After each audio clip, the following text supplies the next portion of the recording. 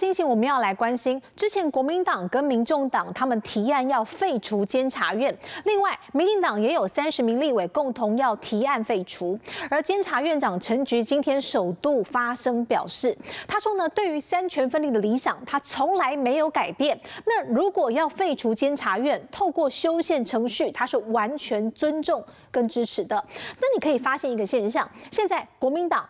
民进党跟民众党或许都想要废除监察院，但是大家想要废除的方式就有点不太一样。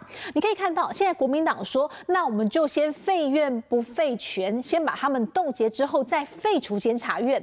但是现在民进党这个民进党这边，他们认为说，他们呼吁韩国瑜要设要来设一个修宪委员会，但是如果要修宪的话，整个程序很复杂，所以柯文哲又说了，他说修宪的门槛难度太高了。也许我们用渐进式的，不要提名新任的监委，或者是冻结预算。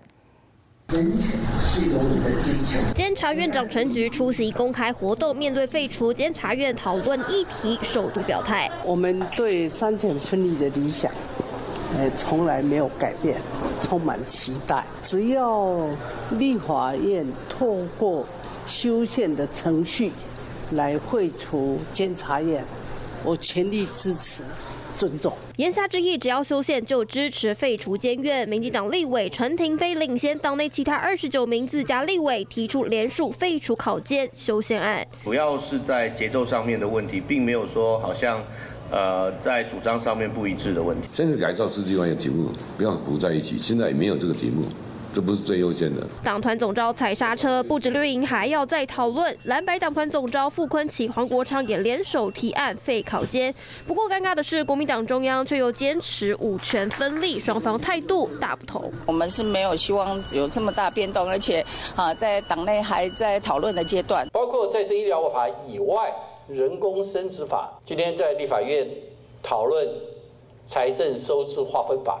更是我们国民党推动的重要法案。挺医疗、挺财政修法，中常会谈话就是媒体废除监察院议题。不过，如果修宪废除监察院确实不容易，民众党喊话干脆从冻结预算开始。其实我们我们当年那个修宪的门槛太高了，预算给他哦不不要提名新的委员，或者是预算给他冻结这种。违反大法官的解释六三二条。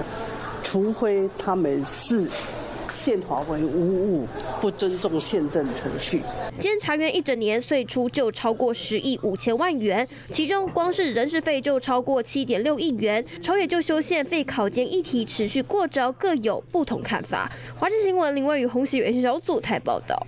Hello，我是易景，想要抢先掌握最及时的新闻资讯吗？赶快订阅、按赞、开启小铃铛，锁定华视新闻的 YouTube 频道。